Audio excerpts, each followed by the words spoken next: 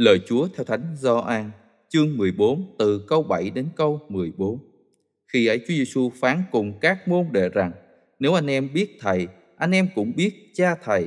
Ngay từ bây giờ anh em biết người và đã thấy người. Ông Philippe nói: Thưa Thầy, xin tỏ cho chúng con thấy Chúa Cha, như thế là chúng con đã mãn nguyện. Đức Giêsu trả lời: Thầy ở với anh em bấy lâu, thế mà anh Philippe, anh chưa biết Thầy ư?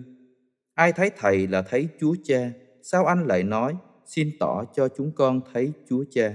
Anh không tin rằng Thầy ở trong Chúa Cha và Chúa Cha ở trong Thầy sao? Các lời Thầy nói với anh em, Thầy không tự mình nói ra, nhưng Chúa Cha đứng luôn ở trong Thầy, chính người làm những việc của mình. Anh em hãy tin Thầy, Thầy ở trong Chúa Cha và Chúa Cha ở trong Thầy. Bằng không thì hãy tin vì công việc Thầy làm. Thật Thầy bảo thật anh em, ai tin vào Thầy thì người đó cũng sẽ làm được những việc Thầy làm. Người đó còn làm những việc lớn lao hơn nữa, bởi vì Thầy đến cùng Chúa Cha và bất cứ điều gì anh em nhân danh Thầy mà xin thì Thầy sẽ làm để Chúa Cha được tôn vinh nơi người con. Nếu anh em nhân danh Thầy mà xin Thầy điều gì thì chính Thầy sẽ làm điều đó.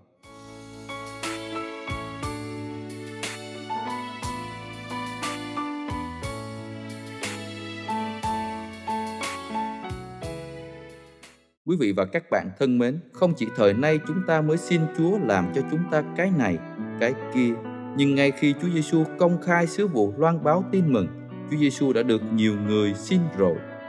Như người cha xin Chúa chữa cho đứa con gái bị quỷ ám, người mù xin được thấy, người bại liệt xin được chữa lành. Và ngay cả các môn đệ cũng xin Chúa như Thánh Philippe mà trang tin mừng chúng ta vừa nghe. Ông Philippe nói, Thưa Thầy, xin tỏ cho chúng con thấy Chúa Cha, như thế là chúng con đã mãn nguyện. Nhờ lời cầu xin của Thánh Philippe, một lần nữa Chúa Giêsu đã mặc khải cho chúng ta biết được người chính là sự thật và Ngài là Thiên Chúa thật. Và bên cạnh đó, người còn mặc khải cho chúng ta biết được Chúa Cha luôn ở với người. Ai thấy Thầy là thấy Chúa Cha. Cha ở trong Thầy và ta ở trong Cha tôi và Chúa Cha là một.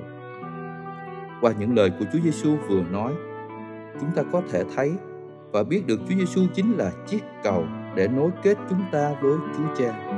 Vì qua cái chết và sự sống lại của Chúa Giêsu, Chúa Giêsu đã trở thành của lễ giao hòa chúng ta với Chúa Cha. Như Chúa Giêsu đã nói, không ai đến được với Chúa Cha mà không qua Thầy. Lạy Chúa Giêsu, chúng con tạ ơn Chúa. Chúa đã đến trần gian này Chúa không chỉ nói cho chúng con biết Chúa Cha luôn yêu thương chúng con, mà Chúa còn dám hy sinh cả mạng sống mình để làm của lễ dâng lên Chúa Cha mà giao hòa thế gian với Chúa Cha. Chúa chính là chiếc cầu để dẫn đưa chúng con về với Chúa Cha, nơi cội nguồn của chúng con. Đó chính là thiên đàng vĩnh phúc. Amen.